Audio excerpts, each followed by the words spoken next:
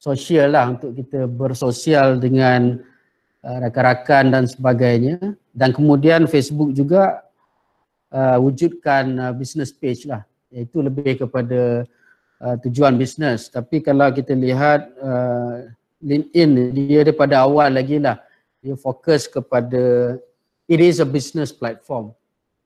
Okay, dan uh, itu tak banyak berubah lah Okay, dan uh, kalau LinkedIn compared to Facebook, dia ada saya ingat sekarang latest statistik saya semak malam tadi lebih kurang 700 juta lah uh, pengguna dia. Um, and then we have Instagram ataupun kalau anak-anak muda dia panggil IG kan. IG lebih kurang 1 billion users. Maknanya dia second most popular selepas uh, Facebook. IG ni yang paling baru lah. Dia, I think it was launched in 2010, about 10, uh, a decade ago lah. Uh, yang kat sini IG is, kalau berbanding kalau Facebook tadi, dia punya user dia kebanyakan middle age group. Maknanya lebih daripada separuh dah umur 35 ke atas. Sama juga dengan LinkedIn lah. 60% LinkedIn ni dia more on a professional platform. Jadi dia punya age group yang paling ramai uh, dalam 25 hingga 40 tahun lah. Okay, then we have Insta. Insta ni budak-budak lah, 18 to 29 years old, majority-nya. Um, ini ini the basic uh, info that we need to understand lah. And then goes back to Facebook. Facebook ni dia apa eh dia kata satu produk yang diterima oleh semua peringkat lah. Sama ada di bandar, luar bandar ataupun semi bandar. Ada pelajaran ataupun tak ada pelajaran kaya miskin boleh dikatakan semua ada uh, Facebook. Macam LinkedIn tadi macam saya kata di business platform. So kebanyakannya uh, orang bisnes, orang korporat tapi saya perhati over the years uh, dalam LinkedIn sendiri ada berlaku perubahan. Dulu orang orang akademik tak ada. Dia orang kebanyakan orang akademik ni dia tak tak ramai lah terutama di Malaysia. Saya ingat saya mungkin antara yang awal-awal lah join dalam LinkedIn tadi. Um, and then uh, IG ni dia ramai orang buat untuk bisnes juga lah. Saya ada juga, saya ada semua account ni saya ada Facebook, saya ada dua account. Satu yang uh, personal dan satu lagi yang official lah. Okay, dan uh, saya ada LinkedIn, saya ada IG, saya ada Twitter. Twitter is another uh, platform yang kurang sedikit popular tapi also quite effective. Dia ada lebih kurang um, 300 juta uh, users kalau di Malaysia, Twitter dalam 2.2 million users. Yang ini dia middle age. Kebanyakannya yang berusia lah 35 hingga 65. Kebanyakannya orang bandar and highly educated lah. Saya ada juga benda ni tapi saya jarang post lah sebab um, dia punya apa ni kaedah penulisan dia berlainan. Facebook ni dia tulis lah ikut dan kan. Uh, kalau LinkedIn ni dia it has to be professional. It has to be short, tak boleh panjang. Dan uh, kalau Twitter ni kena pendek. Pendek saya ingat kalau dulu 140 characters, now dah jadi 280 lah characters. Okay, jadi that that that is the the the basic uh, information lah uh, mengenai empat jenis uh, media sosial yang saya ada pengalaman lah gunakan semuanya. Okey. Boleh dengar tak? Datuk Amir? Dengar tu, dengar tu. Dengar tu, clear. Ya. Eh? Ya. Okey. Okey, jadi okey, itu secara intro dia. Kemudian mungkin saya boleh sentuh sedikit bagaimana saya saya bermula dengan social media ni. Yang saya ingat dua yang awal ialah Facebook, LinkedIn. Facebook hanya untuk uh, sosial bersama kawan-kawan sekolah. Very exclusive lah I would say. Okay, saya hanya terima uh, rakan-rakan sekolah lah yang betul-betul saya kenal. So at that at that time I have around um, couple of hundred friends. Bapa geger tu. Okay, tak apa. Um, and then LinkedIn ni bermula bila saya dilantik sebagai dekan. Saya ingat saya dilantik sebagai dekan Osman Yub Abdullah Graduate School of Business pada tahun 2011. Okay, being a dean, kita saya tak ada pengalaman, you know, uh, mengenai business school. Saya background accounting, uh, like in terms of the knowledge of uh, kita kata business management leadership. Jadi bila dilantik sebagai dekan, saya perlu belajar dengan cepat. Okay, the first thing that we can do is uh, saya kena baca banyak buku lah. And yang kedua ialah saya kena cepat faham apa yang dilakukan oleh uh, business school yang lain yang tersohor di dunia. Kemudian apa yang berlaku di dunia korporat. Kan? Jadi bagaimana nak dapatkan maklumat tersebut dengan dengan cepat? Jadi saya discover that uh, LI ni ataupun LinkedIn ni is is one of the good platforms that I can use to acquire the knowledge. Jadi saya bermula saya saya explore lah. Kan? Jadi peringkat permulaan saya tak ada post apa-apa pun. I just follow some icons dalam business school. Saya follow beberapa profesor yang tersohor dalam business school saya follow um, top universities, top business school, saya follow some big companies dan juga beberapa persatuan dalam yang berkaitan dengan business school just to acquire knowledge, to update my knowledge. Dan pada masa yang sama saya cuba establish connection dengan uh, uh, Malaysian corporate people, figures. Kan, jadi kerja kita ialah kita check siapa orang-orang uh, korporat yang kita rasakan kita boleh dapat uh, ilmu. Kita akan request connection. Ada yang terima, ada yang tak terima. Okay, sebab itu biasalah kadang-kadang who are you kan? Kita hanya seorang dekan. Uh, and you request to become uh, to establish a connection with the CEO ataupun managing directors. So tapi tak apa, eh, along the way, saya mulalah uh, establish my own network dan selepas itu saya ingat after certain time saya mula menulis sendiri. Okay, we learn how to write. Tapi bagaimana nak menulis dalam LinkedIn ni tidak boleh sama dengan Facebook. Jadi sebelum saya mula menulis, saya melihat bagaimana mereka itu menulis.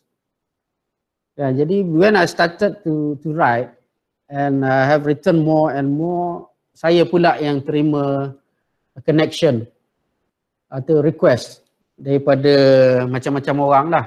Ah, cuma pada masa itu niat saya hanya satu iaitu um, untuk LinkedIn ni saya hadkan connection saya kepada orang korporat sahaja. Because uh, kita, I was dean of the Graduate School of Business. So kita nak kind of selain daripada um, seeking the knowledge dan sebagainya tadi, kita nak promote our school kepada corporate. Sebab as a graduate business school, our main customers ataupun uh, target market kita ialah kita kita offer program MBA DBA. Kita ada Doctor of Management. So our target markets are industry people, orang yang bekerja, adult. Jadi saya cuba hadkan kepada mereka lah. Um, dan juga untuk LI ni juga saya lihat pada masa itulah this is what I did. Bukan hanya kita kita lihat kepada sebab kalau MBA DBA kita targetkan senior executive level. Okay, jadi to become uh, the connection untuk menjadi connect, dalam group connection saya tu ada certain kriteria yang saya letakkan. Okay, because I have to make it exclusive at that particular time. at that particular time. Um, dan saya percayalah uh, through LinkedIn ni dan posting yang dibuat pada masa itu kita berjaya memperkenalkan OYA JSB. Okay, Osmaya Abdullah Graduate School of Business because OYA JSB ditubuhkan uh, pada tahun 2011. I was the founding dean. Nobody knows about OYA JSB. So we work hard, we sell the program uh, using various platforms but I believe the most uh, platform yang paling banyak memberi manfaat dalam creating the visibility of our school is LinkedIn. Jadi nanti secara ringkasnya begitulah.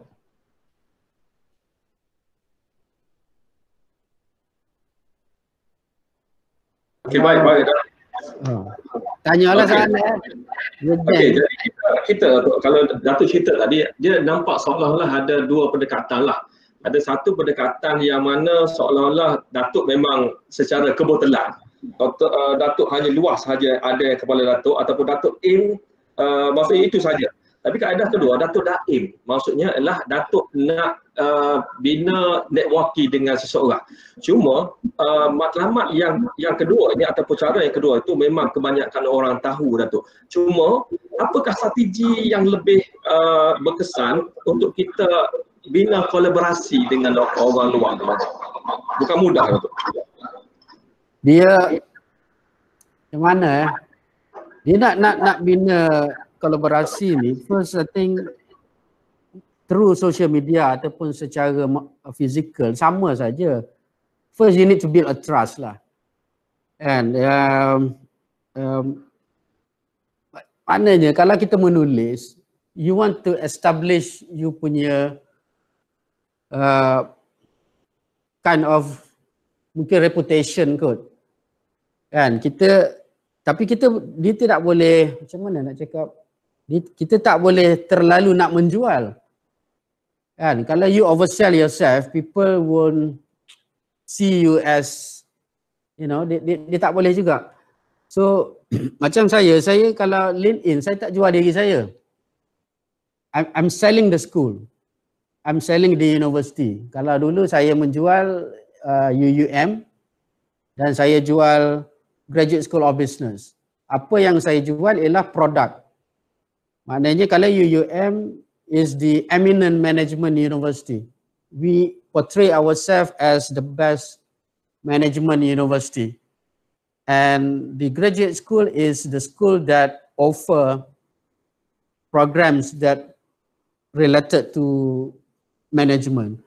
Jadi itu yang kita cuba buat dan kita perlu tonjolkan kena ada bukti. Dia bukan hanya bercerita kita bagus, kita hebat tak, tapi dia harus ada ada bukti. so dalam konteks ini um, I think when people see you the reputation of the university, they trust you lah kan dalam along the way then dia akan bermula you know sebab saya ingat through this LinkedIn juga semasa saya dekan um, kita establish apa yang kita panggil uh, uh, corporate advisory panel. Corporate advisory panel ni terdiri daripada CEO dan juga managing directors, president, chairman of uh, company. Yang mana sebahagian daripada mereka itu saya kenali melalui platform social media. Kan? Dan mereka apabila bila kita request connection dan sebagainya of course dia akan lihat kita punya profile. So that putting a good profile about yourself is very important. Dan dalam LI tadi LinkedIn kena ada profile. Kena tulis elok-elok. Dan sometimes people that know you will make a recommendation. That recommendation also becomes very very important. Ha, kalau contoh, you nak request CEO, managing directors, saya sendiri pun kalau orang request, saya akan tengok juga. Kan, saya akan tengok profile dia. The, the basic question is, will they add value to you? Kalau kita nak jual barang kan, apa uh, added value yang kita boleh berikan. Jadi di sini pentinglah. So sekarang ni kalau kita lihat itu saya cerita zaman UUM dulu. Jadi bila saya masuk ke UMK saya lihat um, UMK ni universiti yang baik, bagus. Tapi dia lack visibility. Kan sebenarnya sebelum sebelum ke UMK, lepas UUM saya dah kurang aktif. Uh, LinkedIn ni sebab setahun lebih di KPT tu dia agak tight. Jadi saya kurang aktif, jarang-jarang sekali saya buat posting. Kemudian bila masuk UMK, I see that you know, bila cakap dengan kawan-kawan, ada yang tak tahu pun. UMK ni dia visibility dia kurang dan kalau yang tahu dia tak tahu bahawa UMK ni niche dia ialah keusahawanan. Jadi I have to start selling that. Ya, jadi saya masuk, saya ingat uh, daripada awal lagi lah. Boleh check kot dalam, saya tak ingat lah. Tapi I, I have started to uh, to write posting dan sebagainya, start selling di UMK. Saya buatlah hashtag entrepreneurship is our trust lah, macam-macam kan. And then, tapi pada masa itu saya pun belum ada maklumat yang kukuh sangat lah pasal UMK kita pun tak ada sangat bukti yang kita boleh tonjolkan. Uh, tapi kemudian uh, antara posting yang yang mengejutkan ramai juga apabila saya kongsikan dari sudut graduate employability kita sebagai contohnya. Kan ia membuka mata uh, pihak-pihak um, industri dan ramai yang you know they, they like, they comment and then ada yang hantar personal message dan sebagainya. So uh, and through my previous networking masa saya dengan UUM itu sekarang ini most of them are helping me uh, to create visibility for UMK pula. Jadi itu sedikit sebanyak membantu dan walaupun saya katakan pada awalnya uh, network LI saya ni agak eksklusif agak saya itu tapi uh, saya melihat sekarang ni untuk dalam konteks UMK saya perlu buka lebih luas. Jadi kalau dulu orang akademik request friend saya dalam LinkedIn saya tak akan terima. Sekarang ini saya dah terima. Saya dah terima boleh dikatakan uh, lebih ramai lah. Kalau dulu I, I, I pack at 2,000, 3,000 connection saja. Tapi sejak, saya rasa sejak saya masuk UMK ni saya dah lebih open dan that networking has increased to 6,000 lebih kot sekarang. Jadi saya harap uh, ia dapat bantulah tingkatkan visibility UMK dan antara yang paling tinggi kita dapat uh, sebab dia dalam LinkedIn dia tunjuk berapa ramai orang view kita, berapa ramai orang like, berapa ramai orang apa ni komen dan sebagainya. Ialah bila saya share mengenai peranan UMK dalam PKP itu. Kita buat banyak produk yang kita hasilkan Uh, dan kita berikan percuma kepada frontliners. So that receive uh, a very strong positive feedback from the uh, kawan-kawan dalam grup tersebut lah. Dan ada lagi lah contoh-contohnya. Yang terbaru bila saya I just write a very short uh, posting pasal UMK dilantik sebagai sekretariat uh, untuk review keusahawanan dan apa ni uh, oleh kementerian. Dan saya buat satu ayat terakhir itu saya minta comments feedback daripada rakan-rakan dalam LinkedIn I receive I think no less than 50 comments from corporate people the real entrepreneurs out there jadi kita boleh gunakan maklumat tersebut untuk bantu kita dalam proses uh, semakan tersebut benda ini kalau kita post dalam Facebook you won't get it. A very serious comment. Dia, dia tak dia tak ada. Kan? Tapi dalam LI kalau kita minta bantuan untuk dapatkan uh, pandangan dan sebagainya, normally kita akan dapat pandangan yang bernas. Tak ada yang negatif lah. So far saya jarang jumpa lah uh, any negative comments dan dan sebagainya. Okay. Ada soalan lain? Berdengung sikit tadi lah Dr. Amir itulah saya pun dengar berdengur-dengur bergembira-gembira juga Datuk sini Datuk. Okey Datuk, uh, kita kita ini kita buka soalan pada luar. Saya uh, sebelum saya open uh, kepada orang lain nak tanya, saya baca sedikit ada uh, baca dulu uh, soalan pada luar. Uh, soalan ini pada Dr. Profesor Madia Dr. Muhammad bin Ismail. Uh, dia tanya uh, apakah strategi uh, untuk diletakkan uh, atau bahan itu nak diletak dalam LinkedIn, LinkedIn. Maksudnya ialah apakah bahan dan apakah kekerapan dia. Sebab mungkin uh, keberkesannya adalah bergantung kepada apa kita letak dan juga masa yang sesuai untuk kita letak. Itu dulu soalan itu. Uh, saya saya tak tahu apa jelas tapi saya cubalah. Ya. Yeah um, dari, dari segi masa posting tu apa tadi? Uh, ya Datuk, ya. Ah. Okay. kandungan Datuk, ya. Jadi dia dia pertamanya kalau tulis dalam LinkedIn ni kalau boleh tulis dalam bahasa Inggeris lah. Okey. Um, dan kalau boleh dalam jangan banyak errors lah. Okay. Grammar salah sikit-sikit biasalah. Saya pun selalu salah. Tetapi jangan ada spelling errors dan sebagainya. Dia akan tunjukkan bahawa kita ni main-main. Okay. Itu itu yang pertama sebelum kita buat posting. Dan yang kedua ialah uh, saya perasan lah uh, daripada pengalaman saya ni uh, masa hari yang sesuai kita perlu tahu. Sebab kalau LinkedIn dia is a business platforms, business focus. Dia ramai orang korporat. Kalau you posting, you buat posting masa weekend, especially Sunday, jarang orang like. The engagement will be very very low. Kan? Jadi kalau boleh elakkan kita post pada hari Minggu, lebih baik post pada hari hari weekdays lah. Ada even dalam weekdays pun saya perasan juga dia ada variation dia. Kan kalau weekdays kalau malam jangan post malam. Sebab orang-orang yang bekerja ni dia dia dia do, do things during dia punya working time. Kan jadi dan itu yang saya perasan through my own experience. Jadi saya ada buat uh, saya makan dalam saya google je ilmu ni banyak dalam Google ya. Saya buat Google ya. Ada tak cara nak nak nak cari uh, masa yang sesuai? Ini berdasarkan ilmu Google yang saya dapat. Dia kata the best time untuk kita nak post dalam LinkedIn ialah pada pukul 10 hingga 11 pagi. Weekdays only.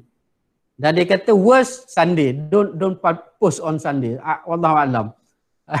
Mungkin dia orang ada kaedah untuk dapatkan uh, apa ni data tersebut. Tapi secara pengalaman saya memang saya perasan.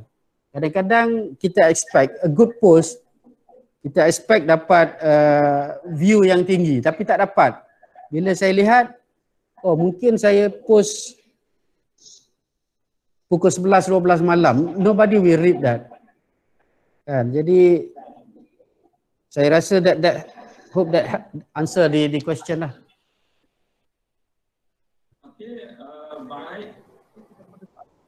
tanya boleh uh, uh, terus pada Datuk. Saya yakin ramai nak tanya tu Datuk. Tak apa betul? Tak dengar, tak dengar. Kita buka soalan pada rakan-rakan kita. Mungkin ada soalan? Ya, boleh tanya ya. Kalau siapa nak tanya. tak ada soalan? Ada soalan? Uh, okay, tak ada. Ada siapa-siapa nak tanya sekali lagi? Uh, okay, tak apa. Okay, uh, kalau sambil-sambil tunggu soalan juga tu sebab saya juga baca daripada soalan daripada sini lah. Uh, ada juga soalan yang tanyakan Datuk, sebenarnya uh, ada setengah orang dia malu Datuk nak letak maklumat, nak kongsi pandangan dalam dalam media sosial. Sebab soalan ni dia kata sebab dua perkara. Satu, takut di, nampak macam nak menonjol diri. Kedua pula isu yang nak dipersembahkan tu tidak ada kita panggil tidak ada respon yang baik. Jadi untuk mengatasi masalah tu ataupun mengatasi dua keadaan ni, apakah agaknya pandangan Datuk? Nasihat Datuk tu. Ya. Terima. Uh, tak berapa jelas juga tu tapi dari segi tujuan ke? Uh, maksudnya kandungan tu Datuk orang malu nak uh, orang malu nak letak dalam media sosial uh, disebabkan oleh dia rasa bahan dia nak letak tu apa ataupun dia nak kongsi tu uh, tak relevan pun Datuk. Oh. Dia dia, dia tengok pada jenis platform lah saya rasa. Kalau kalau dalam LinkedIn, you tak boleh nak post sesuka hati macam kita buat posting dalam Facebook. Dia, it has to be a professional type of posting. Ah, jangan duk duk post tengah masak ke lepas main bola ke apa boleh tunjuk gambar but what people will look at in LinkedIn is the the message behind. Kalau kita cerita masak I mean, if you relate to the accountability, responsibility, yang itu dia boleh relevan.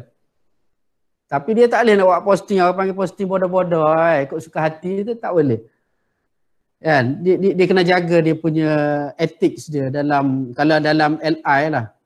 Otherwise then people will uh, shy away from you lah. Kalau dalam Facebook ni, kita boleh post apa saja pun. Kan?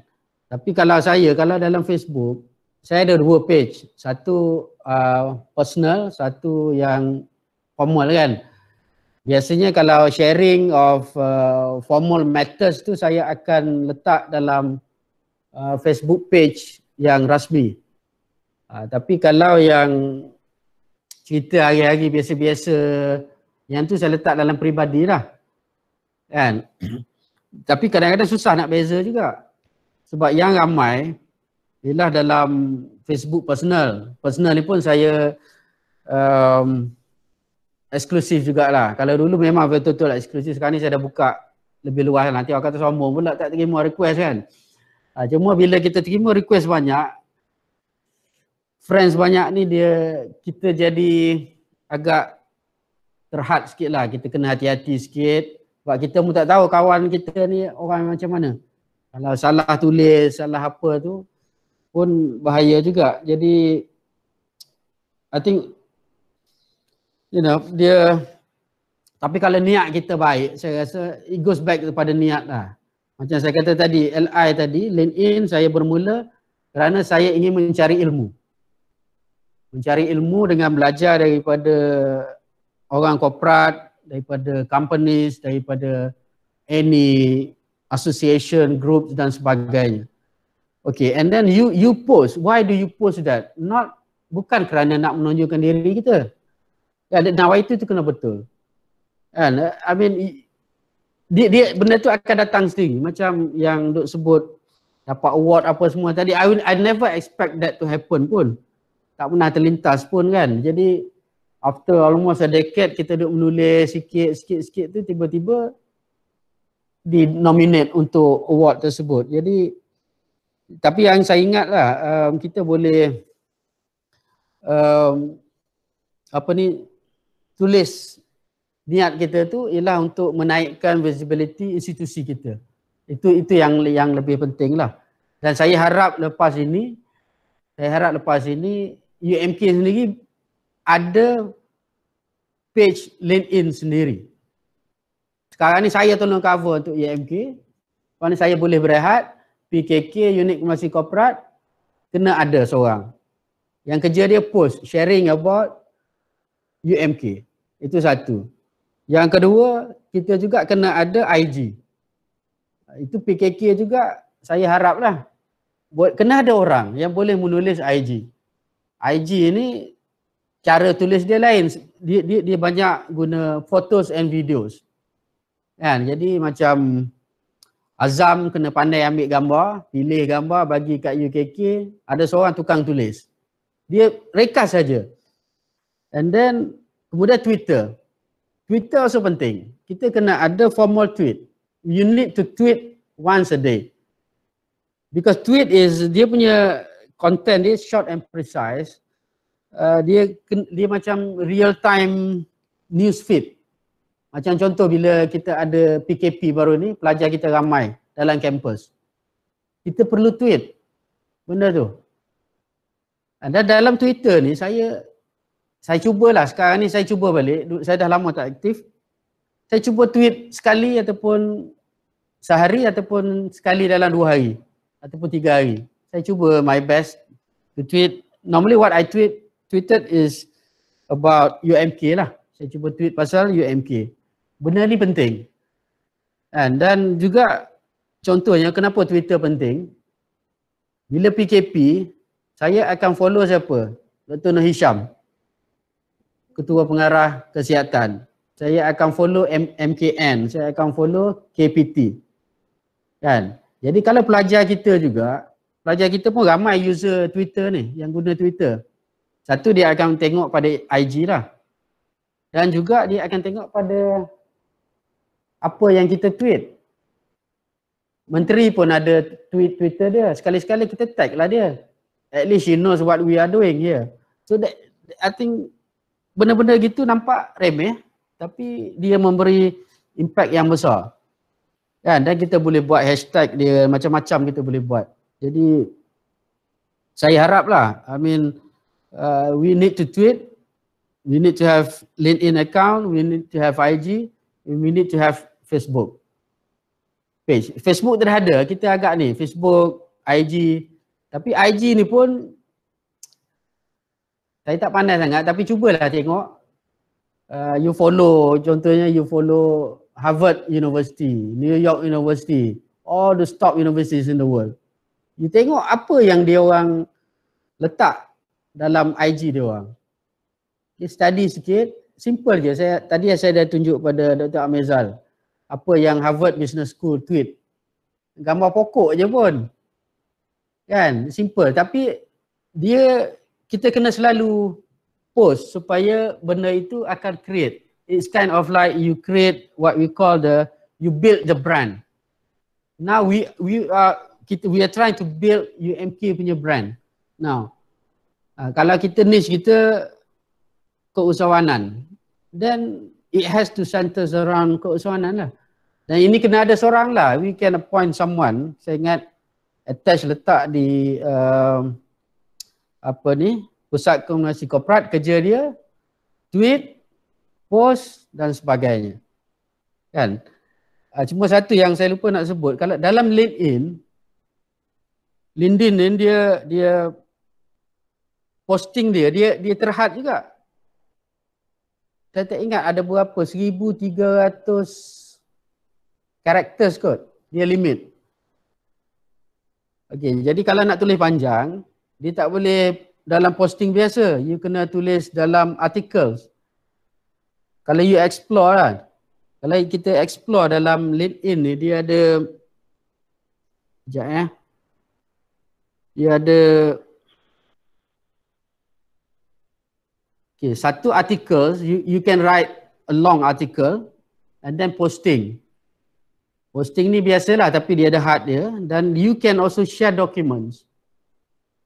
And then uh, macam dalam saya ni dia ada satu dipanggil uh, nampak tak nampak kot. Dia ada satu yang lain dipanggil interest.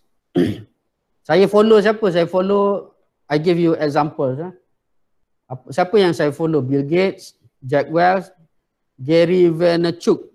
Ini dia dia sendiri ada 4 juta lebih followers. He, he always share about entrepreneurship online dan sebagainya.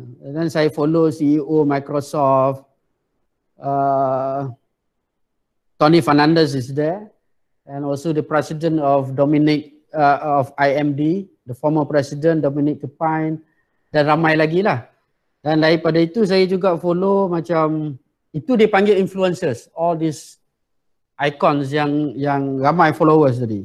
Macam Bill Gates 227 juta orang followers. Okay, and then saya follow macam kalau saya follow Financial Times, Harvard Business Review, The Economist, Business Insiders dan sebagainya. Ini dalam LinkedIn.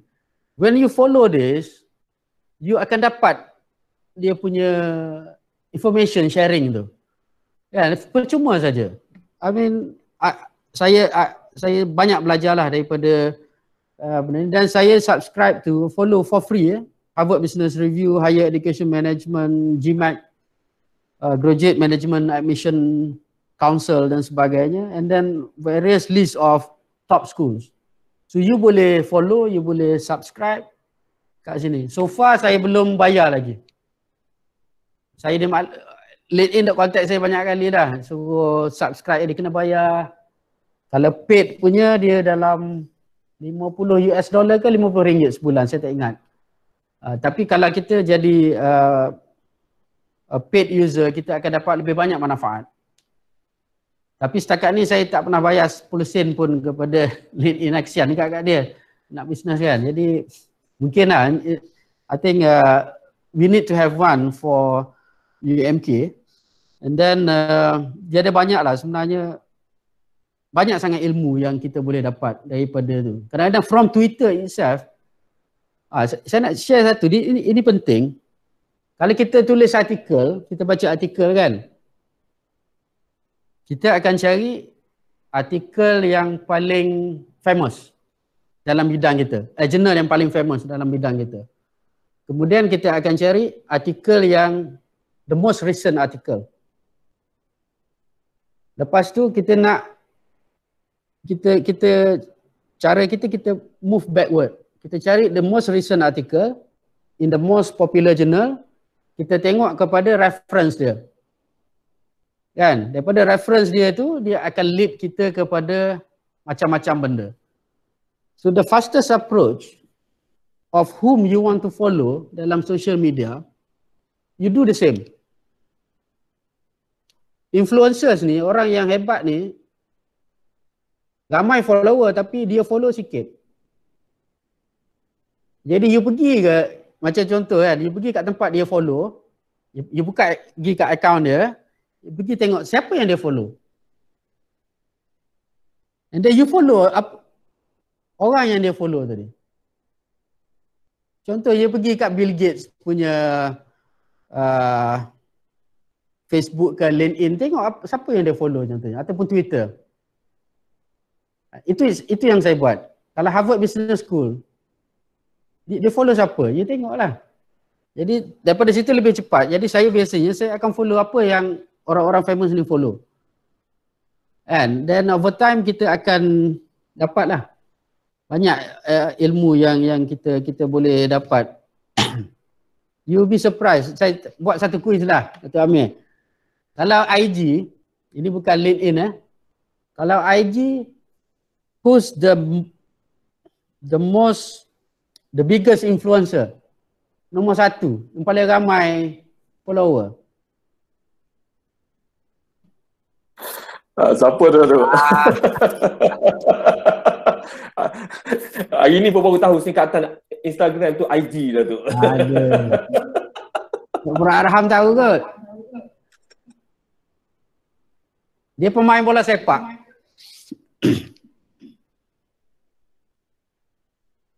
Okey, saya bagi tahu lah. Ronaldo, Ronaldo. Ha, Ronaldo. Oh, Ronaldo. Ronaldo dia ada 216 juta followers. Tak salah saya lah. 260 million followers.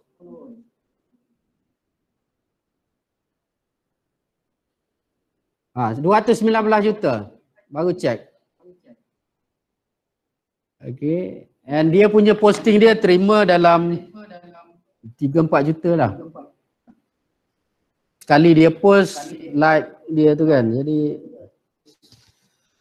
and you can make money lah apa dia tu beat dua kali suara saya itulah berulang-ulang lah tu dia, dia gema-gema lah tu Okey, tak apa. Saya seterusnya, kita tengok sini banyak soalan lah tu. Ha? Uh, kita ada banyak soalan sini. Okey, uh, cuma uh, antara soalan-soalan yang ada ni, siapa yang agaknya nak tanya secara direct tanpa saya baca melalui di bahagian chat? Mungkin uh, Prof Ros ke Dr Zalani ke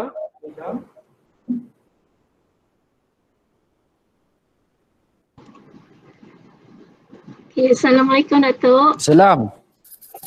Okay, right. Okay, soalan saya sebenarnya kalau kita tengok dalam IG ataupun LinkedIn, okay, uh, this I agree with you. They, these are very professional people normally yang when they posted comment unlike FB. But just from your experience, what are the do's and don'ts that we should limit ourselves when we use all these social media? Thank you, Datuk. What are the do's and don'ts? Yeah. Untuk spesifik LI, LinkedIn ataupun semua sekali? Mana-mana lah Datuk. Tak kisah. Almost all social media, right? Sebab saya tengok ada variation. Kalau LinkedIn, I like it because very professional. Tapi FB ni kadang-kadang ada yang very emotional, yang apa. Walaupun tak ada any specific rules and ni, but your experience, your advice to us. Yeah. Saya ingat, saya pun tak tahulah tapi saya rasa Pertama sekali jangan mengatur orang. Kita punya posting dia tu don't dia tak boleh negatif lah. Avoid negative uh, posting, negative statements dan sebagainya. And yang saya cuba elak ialah saya jarang komen. Okay. Sebenarnya saya sendiri I don't have much time untuk nak baca posting-posting tu jarang lah. Uh, kalau dalam Facebook biasanya saya akan buat C first. Dia ada dia limit tu 10 ke 14 orang. So biasanya yang saya akan tengok yang saya letak C first saja. Dan sekali-sekala kalau ada masa saya akan tengok yang lain. Jadi paling kuat pun saya saya like dan kalau saya nak komen pun saya jarang komen lah. Kalau komen sikit-sikit pun mesti komen yang positif never put negative comments on anybody. Whether you agree or you don't agree. You don't agree, you don't like. You just leave it. Okay, tapi jangan tak payah nak gaduh-gaduh, nak tak setuju ke, I beg to differ lah, apa semua kan. Buang masa lah. Because dia akan drag. Right. Ha, bila yeah. kita start ni orang ni akan jawab macam ni, macam ni kan. It's, it's not worth it. And, and yang kedua ialah saya, kita cubalah elak daripada tulis cerita kita ni hebat lah, kita ni apa kan. So itu uh, patut dielakkan lah, patut dielakkan. Uh, terutama dalam LinkedIn. Kalau tak setuju pun jangan orang kata be too negative lah. Dan saya saya saya pernah ada satu pengalaman lah. um, saya ingat tahun 2017 saya tulis satu posting um, yang agak kritikal jugalah. Yang agak kritikal uh, about the service of a company. And that receive 60 ribu lebih views and hundreds of comments. And that's one uh, yang ramai support lah. yeah, they, they, they agree with, with what I said. But then ada seorang pula yang came and attack saya in that statement. Um, and then yang because dia dia attack direct saya, I think ramai yang lain pula attack dia. Jadi itu berlaku juga dalam LinkedIn lah, tapi jarang sangat berlaku. So the lesson that I learned is that never put a negative remark on anybody dan sebagainya. And dan kita dalam LinkedIn people are looking for inspiration. Just share something that can inspire people. Saya rasa gitulah dari segi gambar ke dari segi apa kan. And we can also inspire through IG. IG dalam bentuk um, foto dalam bentuk video dan sebagainya. And kalau kita nak reach out to that particular market. Dan uh, itulah I, I think kalau kita boleh avoid yang tu dan juga saya I have uh, my own principle ataupun rules. Siapa yang posting yang komen negatif ataupun post negatif, saya unfriend dia. Saya tak nak uh, kusutkan kepala saya dengan benda-benda negatif. Kan? Dan saya lagi satu saya tak jarang lah. Saya tak akan terima bila orang request friend, saya akan tengok profile dia. Kalau dia tak ada profile, kalau Facebook lah, saya tak akan accept. Yang kedua, bila saya scroll profile, kalau kalau ada posting pasal politik, saya tak akan accept. Kan? Yang itu saya cuba nak mengelakkan daripada benda-benda itulah. So, kita pun, yalah, we have our right to not to accept or to unfriend ke. Sama juga dia tak suka kita, dia boleh unfriend. So I think I hope that yeah. Okay, uh, terima kasih Prof. Uh, Prof. Ros. Uh, mungkin kita ada kita boleh terima lagi tiga soalan. Kita ambil tiga soalan. Okay, uh, yang ada soalan boleh tanya secara langsung. Eh. Kalau insyaAllah kalau tak ada soalan yang langsung baru saya akan cuba tengok dalam chat. Mungkin ada siapa lagi nak tanya? Boleh boleh dua lagi? Tiga lagi, tiga lagi, sorry.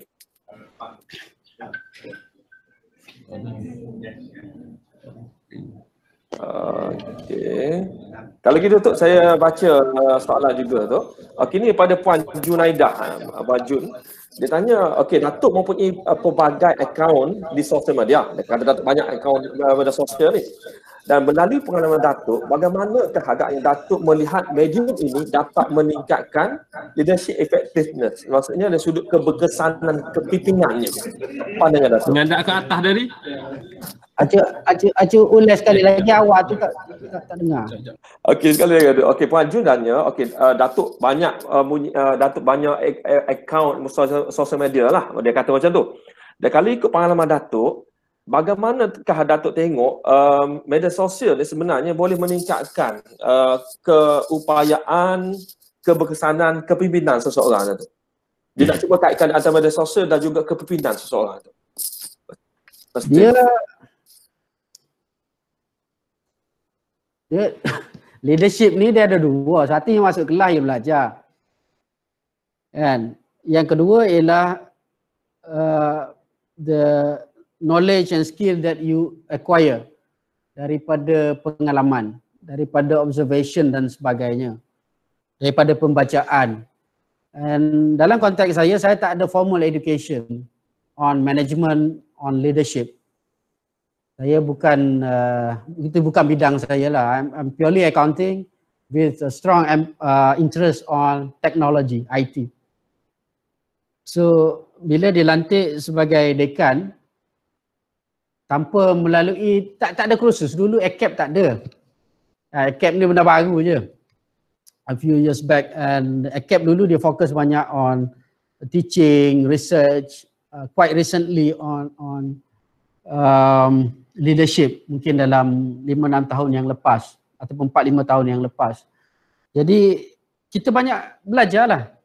Jadi nak belajar, belajar daripada siapa?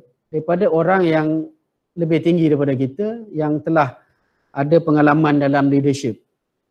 Jadi ini kita nak kenal mereka bagaimana? Mereka tidak akan datang kepada kita. Kita kena mengadap mereka. Jadi apa yang saya buat, saya pernah cerita lah kawan-kawan, mungkin di UMK pun saya pernah cerita, saya pernah ketuk 30 pintu CEO. Semasa saya mula-mula menjadi dekan. Memujuk, untuk memujuk mereka menjadi uh, advisory panel members for our school. Daripada 30 tu saya rasa mungkin dalam uh, belas-belas lah yang layan kita lah. Ah, yang terima kita. Ada tu dia bagilah daripada chief apa COO CFO dia jumpa. Kan? Tapi ada yang yang jumpa sendiri. Budak mana dia kata datang nak jumpa aku ni? Mungkin begitulah itu satu tapi saya approach saja dan yang kedua ialah saya gunakan LinkedIn tadi they know me through that through my profile what I'm trying to do pada masa zaman dulu, saya menulis Oya Graduate School of Business baru je tubuh. 2011. Kita tak ada apa-apa evidence untuk katakan bahawa kita a good business school. So what do I sell? I sold um, dream. saya jual mimpi. What we want to be. Jadi saya menulis kaedah penulisan saya ialah pada masa itu lebih kepada penulisan mengenai what we want to be, how we are going to do it. And then di bawah itu saya biasa saya selalu letakkan if you want to be part of this interesting journey. Ha, di mana kita nak appeal dia orang untuk menjadi sebahagian daripada uh, mimpi ataupun perjalanan kita itu. Jadi through that, you know, i, saya pun tak tahu apa yang sebab betul atau tidak pada masa itu. Tapi I did receive many good feedback. And I make lots of friends daripada LinkedIn. Termasuk dari kalangan C-level. Eh, COO, CFO, CEO dan sebagainya. And jadi dan you kenal satu orang, dia akan recommend. Kalau dalam LinkedIn eh, saya katalah saya tulis satu posting kan. So my friend ni suka dengan posting saya dan dia nak juga kawan dia yang lain untuk tahu. So dia akan tag.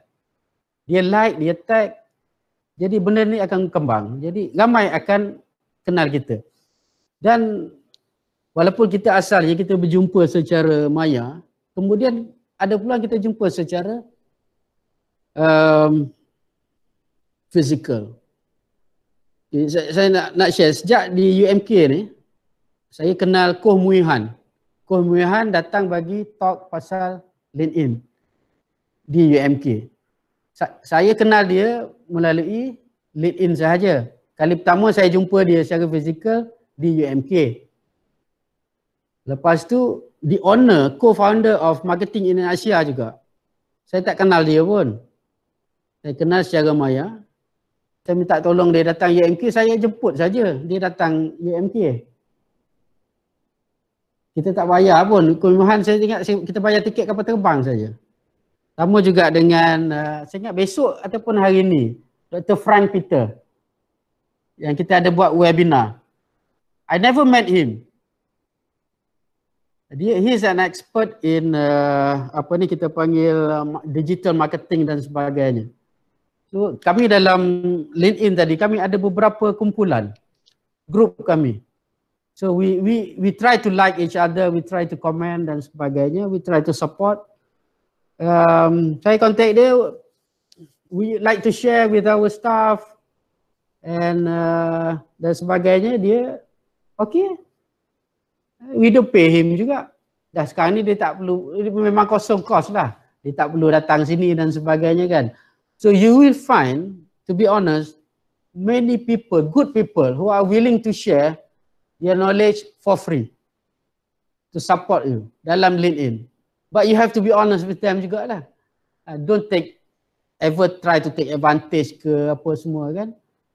Dalam maya ni pun kita boleh wujudkan uh, kita panggil persahabatan yang yang baik juga. Tapi dalam tu pun macam di luar ramai juga penjahat lah. So you have to know who's your friends, who's your enemy. Dan saya pernah ada seorang tu, ini C level, dia copy saya punya post, dia ubah 10%, dia post dalam dia punya. Seolah-olah dia punya ideas. Tapi, few of my friends alert me. And then tag dia balik, condemn dia, dia, dia take out lah dia punya posting tu. Ramai juga yang macam tu ada juga. So kita kena pandai-pandai lah pilih dan sebagainya kan. But tak rugilah kalau you you you have a LinkedIn account, you can create many good networking around it. InsyaAllah. Okey Datuk, kalau tengok daripada apa yang Datuk kongsi tadi menarik Datuk eh. Antara kita tengoknya ada dua perkara besar Datuk eh. Satu ialah uh, seolah-olah konsep yang try error. Satu. Kedua Datuk, dia lebih pada snowball Datuk eh lebih pada snowball maksudnya ialah Datuk kenal seorang dia akan tolong kenal kenalkan seterusnya cuma yang paling besar satu lagi Datuk uh, satu tambah satu plus satu lagi Datuk ialah keberanian Datuk Datuk cerita tadi sudut Oya Datuknya pengalaman dulu di UM hanya baru tubuh tapi Datuk berani pergi ketuk pada uh, di pintu-pintu dalam reket pintu-pintu level C dan sebagainya okey uh, uh, itu antara intipati yang kita kongsi tadi. Okey, mungkin kita ada soalan lagi? Kita boleh buka soalan satunya? Buka soalan? Tak ada soalan? Tak ada soalan? Tak ada. Okey. Uh, saya baca soalan Datuk eh. Okey, ini soalan daripada Profesor Madya Dr. Zalani. Okey, dia tanya Datuk. Okey, yang, yang Datuk kongsi tu banyak berkaitan dengan organisasi.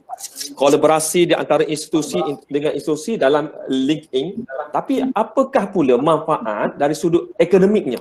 Apa yang kita boleh kongsi sudut akademiknya Datuk? Sempena dengan kita kata nature kitanya atau core business kita adalah akademik. Apa pandangan Datuk? Apa pandangan? Banyak boleh buat dia gini lah saya kata. Cara paling mudah eh. Kita orang akademik buat research. Okay and then kita juga boleh buat kita tulis paper. Can you translate that in a professional format? In a format that can easily understand by or understood by the corporate people you share it. Buat tajuk yang catchy sikit. Janganlah guna tajuk akademik yang bosan tu, panjang-panjang tu. Mediating apa ni, the, the impact of this mediating bla bla. Jangan tu. You you you twist kan. If you do research on leadership, on HR, on poverty for example, I think take out all those literature review lah apa semua to just focus on the finding. What are the new things that you have found? Share it on on LinkedIn. I'm sure people will like it. Nah, ini dah lama tak buat research. Kalau tak dulu saya buat. Kan? Kalau kata posting biasa terlalu pendek, put it in articles. The longer version in articles, the shorter version dalam posting biasa. Dan orang melihat dalam dunia ilmu apa ni knowledge terlalu banyak. Orang nak tengok benda yang lain. Kalau finding you pelik, something yang you rasa boleh orang kata lain lah that can give a different light. You share it. I'm sure dalam kalau LinkedIn there are so many HR people otai-otai dalam tu. Saya ada kenal beberapa orang from Nestle Group, Telecom, Hari tu pun dapat duit zakat banyak juga daripada Telekom through LinkedIn punya di juga. Contoh kan, banyak kita boleh buat. And then kalau kita nak academic, how to teach better, entrepreneurship better. What are the new skills that I should embed dalam teaching and learning? You ceritalah dalam LinkedIn tu. Okay, sekarang kita ada apa-apa-apa semua kan, kita buat macam ni. Okay, just check out honestly that I, I would like to receive a feedback from my the real entrepreneurs out there to give the feedback on how we can teach uh, this module better. Tapi pasti ramai yang akan komen lah dan bagi feedback. Itu banyak manfaat kepada kita orang akademik. Bagi saya adalah orang akademik pelakir ni. Dia kata apa profesor main social media. Contohnya kan. Oh, I don't have time, I'm too busy. Ada juga. Uh, how you want to allocate your time? Ha, untuk menulis, itu proses pembelajaran. Proses creating the visibility. Ya, jadi, bagi saya, saya tengok banyak manfaat. I don't see it from the negative of it. Saya tak membazir masa saya. Saya belajar banyak daripada uh, social media ni. Sebab tu saya kata saya tak baca sangat orang ngarut ni. I look for what I want. Itu saja. Kalau kita boleh jaga yang tu kita tak tak membazir masa apa. Cabaran lah untuk kita orang akademik. Okey Datuk. Okey kita dah uh, kalau ikutnya kita dah ada dekat uh, empat soalan Datuk eh. Kita dah baca empat soalan. Yeah. Okey uh, mungkin uh, uh, rumusan yang Datuk boleh cerita sedikit uh, bukan hanya mungkin bukan setakat dalam LinkedIn tapi dalam semua media sosial uh, apakah pesanan Datuk khasnya untuk uh, untuk warga UMK khususnya untuk menonjolkan uh, UMK itu sendiri Datuk. Itu saja. Saya Datuk. Okey. Ini habis dah kan ni? Penutup uh, Kalau ah. Datuk nak sambung lagi boleh. Okey, je tu. Okey, saya malam tadi kalau Datuk Amizal pun mungkin perasan dalam grup pengurusan kanan saya kata there are three things in leadership or in, in working life. Saya kata first you need to have a positive mindset.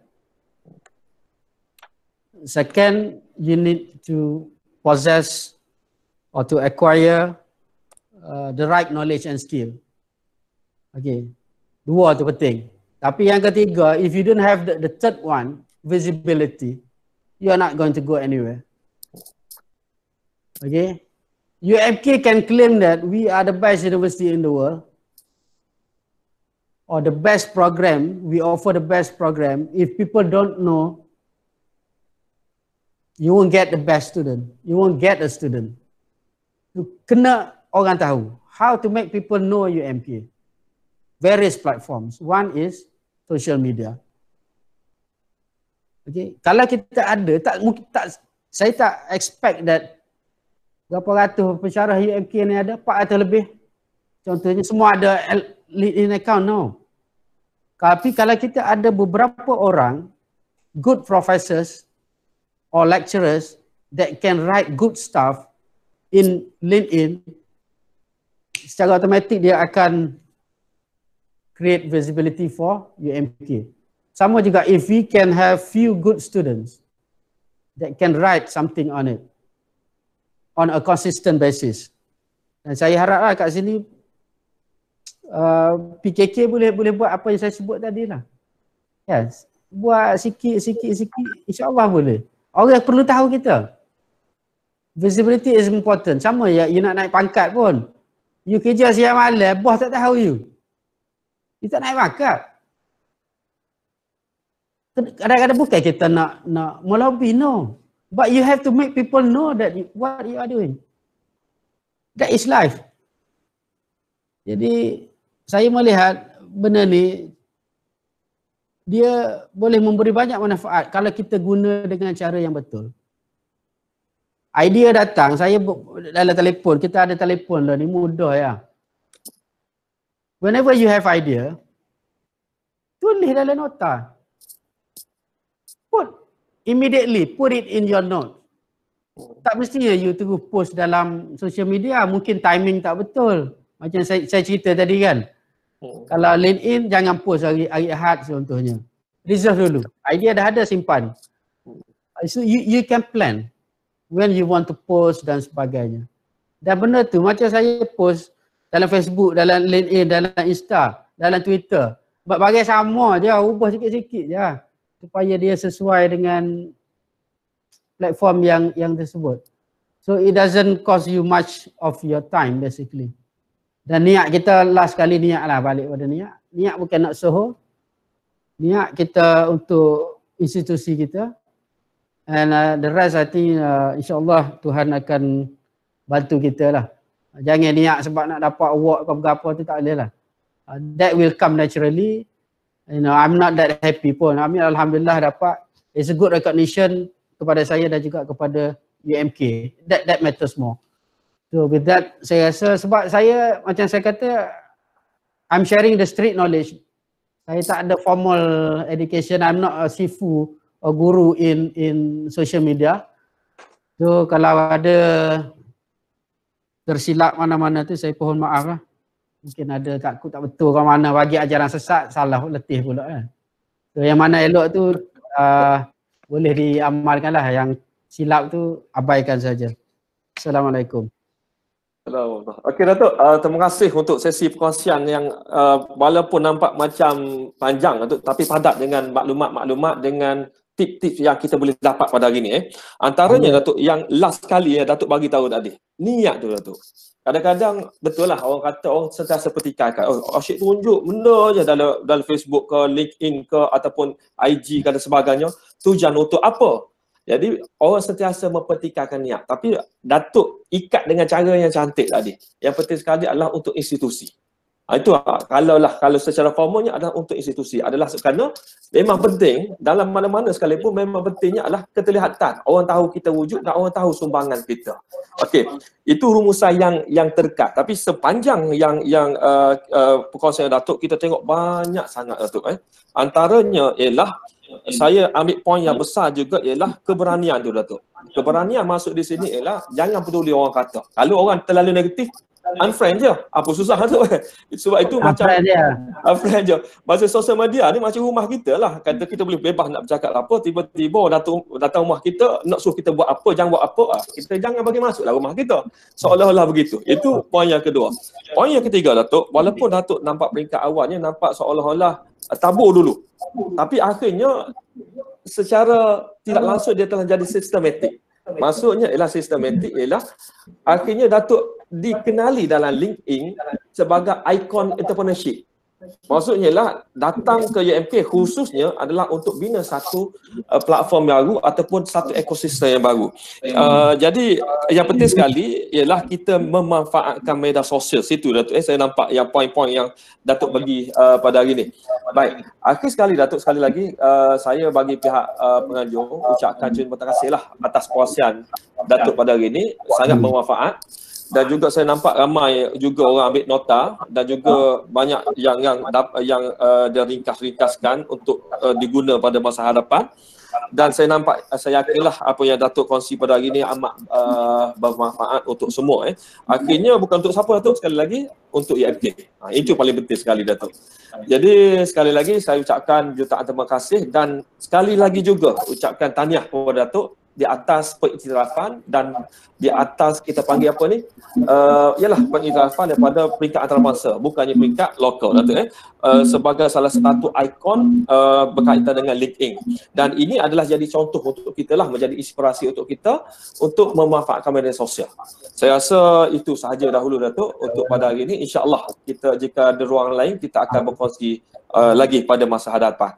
Dan terima kasih pada rakan-rakan yang uh, kekal bersama dengan kita pada hari ini. Semoga sekali lagi uh, kita dapat manfaat daripada proses ilmu kita pada hari ini. Jadi uh, saya rasa itu saja Datuk untuk, uh, untuk kita pada hari ini. Kita akhiri dengan wabillahi taufik wa hidayah. Assalamualaikum warahmatullahi taala wabarakatuh. Terima kasih sekali Datuk. Terima kasih.